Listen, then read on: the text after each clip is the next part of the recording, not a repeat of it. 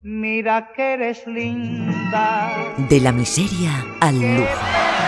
De la ignorancia al conocimiento. Un gato genial. Y un máximo. De la represión Documentación, por favor. al libertinaje. Déjame.